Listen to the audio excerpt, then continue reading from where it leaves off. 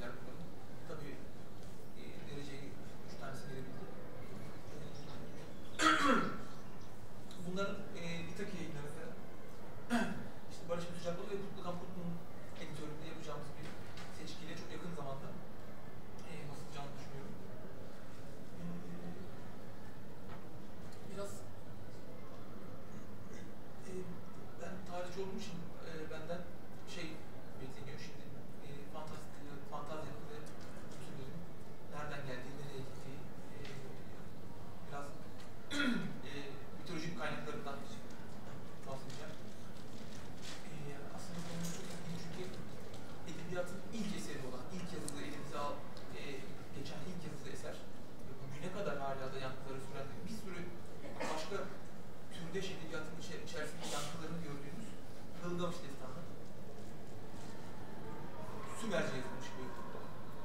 Edebiyat parçasıdır. Milattan önce e, 3. binim tarih tarihlenir. Fakat e, en iyi parçaların Sümerce gelmedi. Akatça, Babil'den,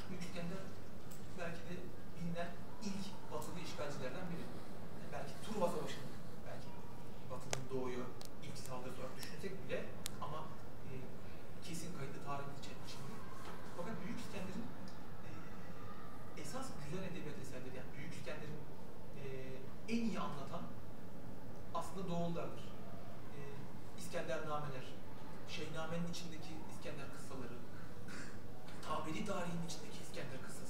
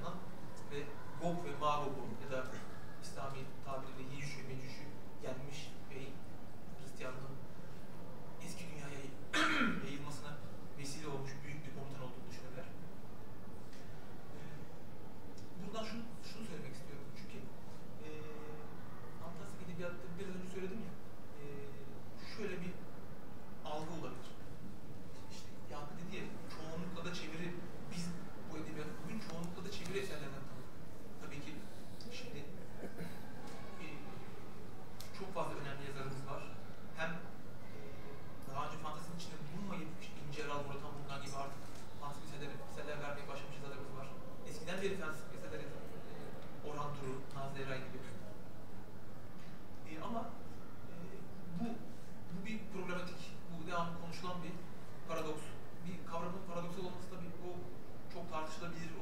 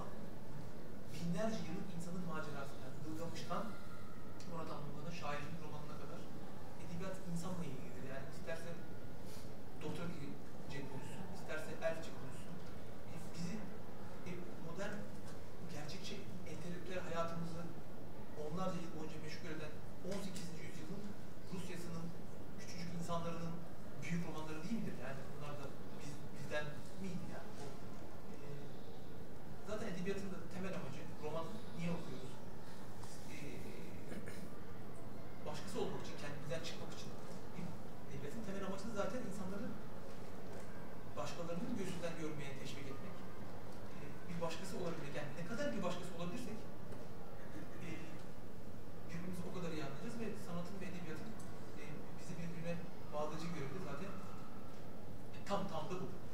E, hele ki fantastik, şimdi Barış Ege'nin bundan çok daha iyi bahsedecektir. E, fantastik kurgu da dünyadan artık çıkıyor.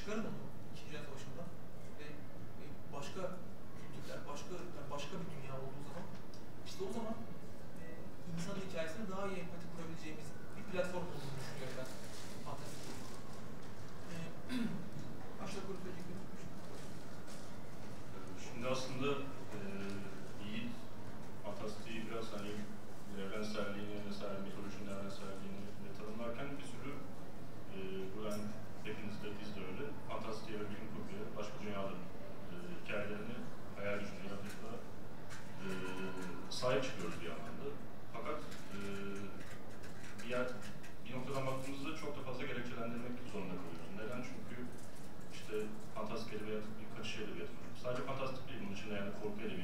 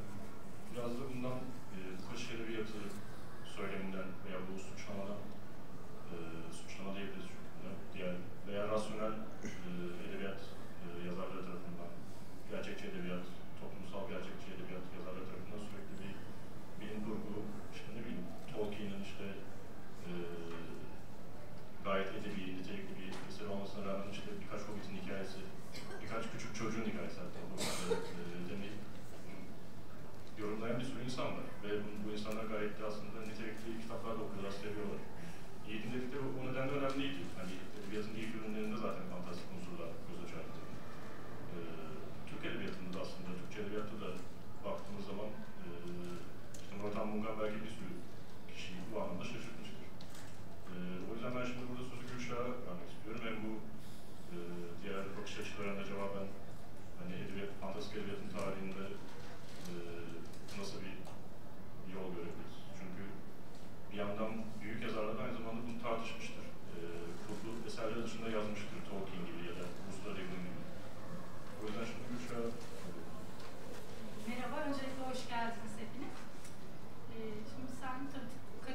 yönetimi hani olumsuz gibi düşünüyoruz ama aslında Tolkien'in söylediği taraftan bakarsak buna e, fantezi edebiyatı elbette ki kaçış edebiyatıdır. E, şu an zincirlerle tutulduğumuz bu sahte dünyayı düşündüğümüz zaman kaçmakla ve kurtarabildiğimiz kadar çok mahkumu kurtarmakla yükümlüyüz der Tolkien. Ben bu açıdan baktığım için kaçış edebiyatı dediklerine bunu aslında iltifat olarak alıyorum.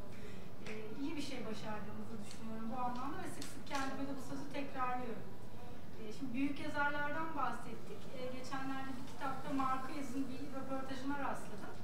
Ee, şöyle bir şey söylüyor. Kafka'nın Dönüşüm kitabını okudum. İlk satırını okuduğum zaman neredeyse yataktan düşüyordum. Ee, bir sabah George Samsa e, sıkıntılı bir rüyadan uyandığında kendini bir e, böceğe dönüşmüş bulmuş. Bunu okuduğum zaman kendi kendime e, böyle şeyler yazmasına izin verilen birileri olduğunu hiç bilmiyordum. Bilseydim ben daha önce yazardım demiş. Yani Marquez'in aslında şu an bizimle buluşturduğu kitaplarını biz Kafka'nın dönüşümüne borçluyuz belki de. Bu da işte hani kitaplar kitaplardan, yazarlar yazarlardan çıkar dedikleri söze geliyor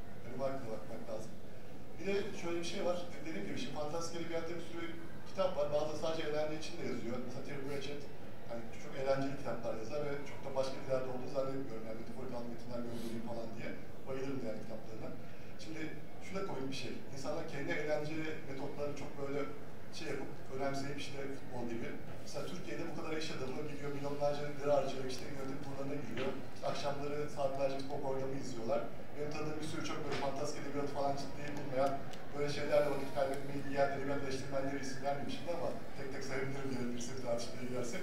Twitter'dan böyle sabah akşam futbolla alakalı tweetler atıyorlar. Yani adam gidip futbol çok gün fantastik edebiyatta da eğlence bir unsuru var. Bu işte hayatı boşa harcama falan komik şeyler. Yani insanlar ne mesela eğlenmek istiyorsa öyle edebilir. İsterse futbolla ilgilenir, isterse fantastik edebiyat eğlence unsuru olarak görür, isterse başka bir şey. Şimdi diğer edebiyat dallarında da bu arada bütün kitaplar çok çok da böyle ağır ve çok temalar işlemiyorlar. Edebiyat için söylenen her şeyi edebiyat için de söylüyor mesela. Siyasi bir konu yazan her kitap çok mu böyle anlamlı? Veya aşk romanları hepsinin çok anlamlı aşk kitapları? Yani son derece vasat, son derece kötü aşk romanları da var. Son derece kötü siyasi romanlar da var. Son derece kötü başka türler kitaplar da var. Yani kitabı iyi yapan şey türü değildir. Yani iyi bir kitapsa iyi bir kitaptır türden bağımsız olarak. Kötüse de kötüdür. Fantezi evrenin içinde kötü örnekleri var, iyi örnekleri var. Ama bir tür tanımlarken iyi örneklerine bakmak lazım. Yani siz gidip böyle kötü bir çeviri yazıp bir tane fantastik kitap okuyup ondan sonra fantastik bununla tanımlarsanız o zaman yanlış yaparsınız. Bu işin başlıklarına baktığınızda ancak görebilirsiniz ne olduğunu. Şimdi metafordan bahsedersek de şimdi fantastik edebiyat aslında mesela ben benim benim söylediğim her şey beni bağlar. Fantastik edebiyatı bağlamaz. Başka yazarlar çünkü fantastik edebiyatı bambaşka amaçlarla da yapılarak yazabilir. Ben mesela kaçtan daha çok gerçekten bana dert olan bazı şeyleri ya daha evrensel bir dille ifade etmek için kullanıyorum. Benim için bir iletişim aracı fantastik edebiyat. Çok basit bir örnek vereceğim mesela size. Şimdi benim kitaplarımda aslında şimdi kitap okumayanlar için biraz böyle bir şey olacak aslında ama hani yerini bozmak zorundayım bu şeyi. Oradaki sürprizi belki de çok fazla kitapta sürpriz var. Bir tanesinin bozulmasından çok büyük bir sorun olmaz. Şimdi canavara dönüşen bir karakter var bir kitabın içinde. Benim yazdığım kitaplardan bir tanesinde. Şimdi bu karakter romanı başlarında çok yakışıklı. Böyle kadınların aşık olduğu, herkes hayranlık duyduğu, erkeklerle arkadaş olmak istediği falan. Çok böyle diğer karizmatik bir e, savaşçısı. İşte bu herkes onun gibi olmak için böyle bir yarım tutuşuyor diyelim ki. Böyle bir insan düşünün. Romanın ilerleyen bölümlerinde şeytanın yaratık tarafından böyle çirkin bir canavara dönüştürülüyor, bir tuzağa düşüyor. Ve tabii artık dış görünüş çok çirkinleştiği için artık hani kadınların aşkı mümkün değil. Eskiden onunla böyle sosyal ortamlarda arkadaş olmak isteyen insanlar uzaklaşıyorlar. Hiç kimse kötülük yapmadığı halde sadece kötü göründüğü, çirkin göründüğü için yavaş yavaş sosyal ortamlarda dışlanmaya başlanıyor.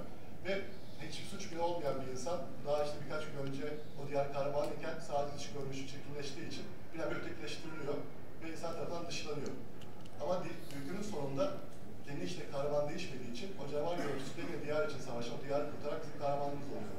Şimdi siz bu öyküyü alın, gerçek bir ortama taşıyalım. Mesela bir doktor düşünün, şimdi Mehmet Öz gibi bir adam diyelim ki. Televizyonlarda programlara çıkıyor, son derece başarılı bir doktor. İşte kadınlar ona aşık, erkekle ona arkadaş olmak için yanıp tutuşuyor. Sosyal ortamlarda herkes onun yanına yaklaşmaya çalışıyor. Diyelim ki çok böyle bir büyük bir araba kazası geçirdi veya işte bir yangına tutuldu. Birdenbire gözü parçalandı, böyle çok çirkin bir dış görünüşü kazandı. Artık televizyonda zaten çıkarmazlar. Kadınlar zaten göstermez. Ve maalesef inşallah kimsenin başına gelmez ama yani ben bu ötekileştirme kavramı üzerine çok kafa yorduğum için de gözlemlediğim bir şey. Hiçbirisi derdi olmasa bile insan çirkin insanlardan, böyle kötü gören insanlardan hoşlanmazlar. Bir şekilde rahatsız hissederler ve yavaş yavaş onu ötekileştirirler. Ama sonra mesela o şehrin bir hastalık geldiğinde bu adam, bu kaza geçiren doktor, içindeki o idealist doktor değişmediği için yine mücadele vererek o hastalığı çözüm olarak o şehri kurtarabilir mesela bu hastalıktan. Şimdi ben bunu bu şekilde de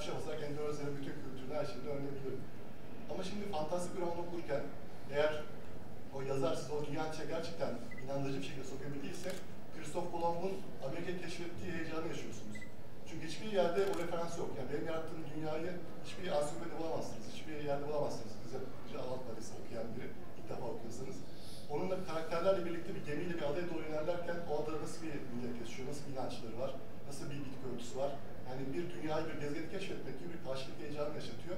Bu yüzden bu konuda yazmayı seviyorum. Aynı zamanda ben İngiltere katılıyorum. Biraz evrensellik açısından da fantastik oluyor, güçlü buluyorum. Çünkü mesela ben ötekileştirme, ırkçılık, işte soykırımdır, böyle konulara işliyorum kitaplarımda. Şimdi bunları tarihin belli bir bölgesinde, belli bir döneminde geçen bir konu olarak işlediğinizde insanlar taraf tutmaya veya kişiselleştirmeye gidebiliyorlar. Çok böyle başarılı bir şekilde yerel bir da evet evrensel olunabilir. Ama fantezi eventini daha kolay yapabiliyorsunuz. Çünkü insanları o ortamdan soyutladığınız için yani Çinlisi de okurken kendi tarifinden bazı örneklerle bunları özdeşleştirebiliyor. İşte İngiliz'i okurken İrlanda ile belki kendi yaşadığı bir şeyle özdeşleştirebiliyor. İşte Meksikalısı farklı bir şeyle, Türk farklı bir şeyle. Yani oradaki siz temayı alıyorsunuz, işte o savaşın insanlar üzerindeki etkilerini alıyorsunuz. Belli bir savaştan soyutup sadece o tema üzerinden anlatabiliyorsunuz. Ve bu insanları o göz baktırabilirseniz de bence yani çok etkili bir eğitimin ortaya çıkabiliyor. Şimdi sen bahsederken hani neden fantastiği kullanıyorum diye ben de kendi kendime sorgulama ihtiyacı hissettim. Ben neden peki fantastik yazıyorum? E, mesela son romanım Uykusuzlar'da aslında derdim rüyalarla ilgili bir şey yazmakta ama yani fantastik bir şey yazacağım diye oturmamıştım masanın başına ama e, bir kere konu zaten başlı başına fantastik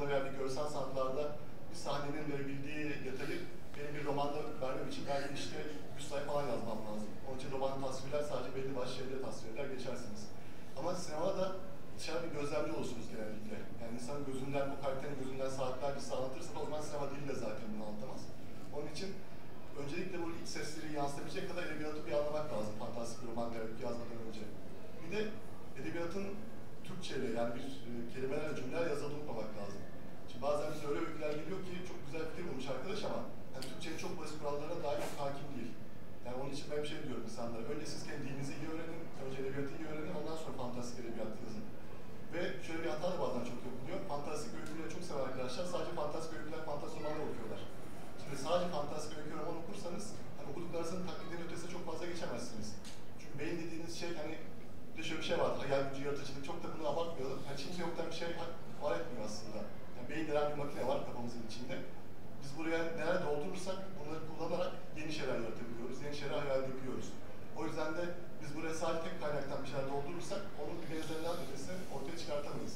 Onun için çok farklı alanlardan, bu konuda çok farklı alanlardan filmler seyretmemiz, belgeseller izlememiz, işte gerçek tarihi, gerçek mitoloji yapmamız lazım ki ortaya zengin bir eser koyabilirim şöyle bir şey de var. Mesela fantastik roman da yazıyor olsanız bir noktasında aşkı anlatıyorsunuz, bir noktasında bir savaş sahnesi anlatıyorsunuz, bir noktasında işte bir kardeş kavgası anlatıyorsunuz, bir noktasında işte insan hırsını anlatıyorsunuz.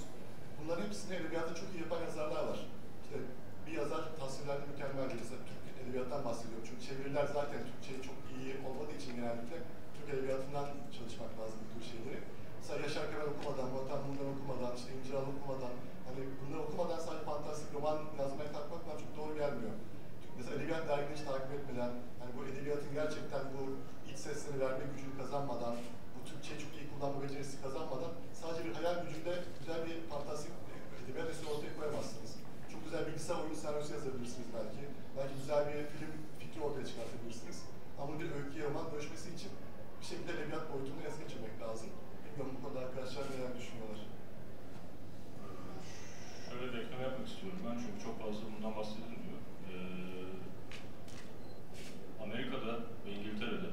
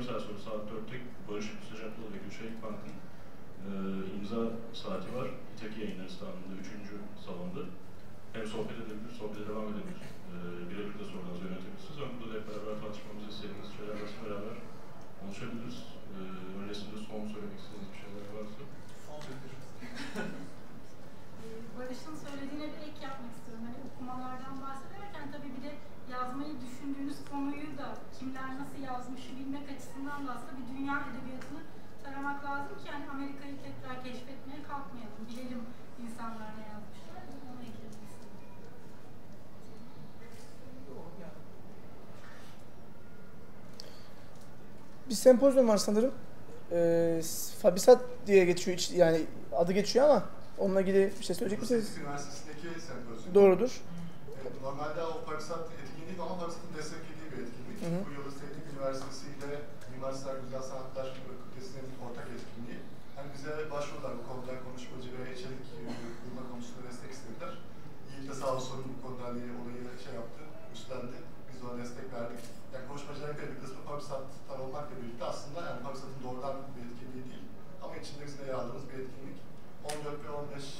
yakında gerçekleşecek diye biliyorum. Yani tabii Sarkom.tr'de veya bizim Facebook sayfamızda detaylar da var. Üniversitelerin kendi web sitelerinde de var diye biliyorum detayları. Bu arada bekleriz. Orada çeşitli farklı konuda daha uzun uzun konuşma şansı bulacağız. Çünkü iki tane büyük bir etkinlik, yani bayağı yoğun bir şekilde fantazi bilim kurgu konuşulacak. Bu arada tabii yani konudan konuya geçeceğim burada çünkü fantazi bir bilim kurgu diyoruz. Maalesef tabii daha çok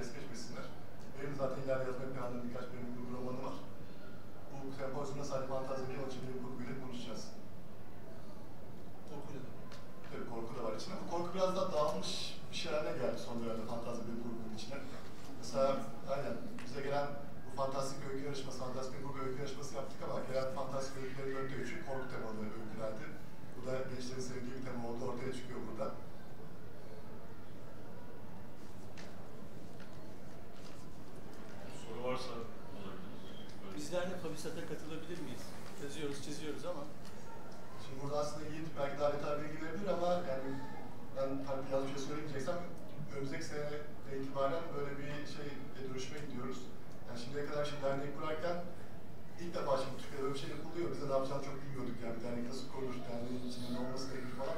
Bunu anlayana kadar çok genişlemek istemedik. Yani çok genişleyelim çünkü yönetmek çok zor oluyor böyle organizasyonları. O yüzden daha küçük bir dairede derneği kurduk. Ama şimdi biraz oturdu bazı şeyler. O yüzden seneye çok daha geniş olarak yani web profilimizi değiştirip böyle bir açılıma gitmeyi planlıyoruz ama istersen iddia edersen bilgi var bu konuda. Ya aslında öyle. Yani biraz daha yani